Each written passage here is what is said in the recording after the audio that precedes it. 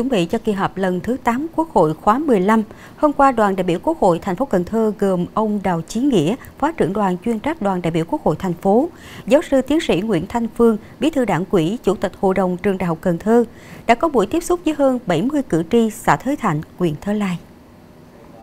Đoàn đã báo cáo tóm tắt dự kiến nội dung chương trình kỳ họp thứ 8 Quốc hội khóa 15, báo cáo hoạt động của đoàn đại biểu Quốc hội thành phố từ đầu năm đến nay và lắng nghe ý kiến đóng góp của cử tri,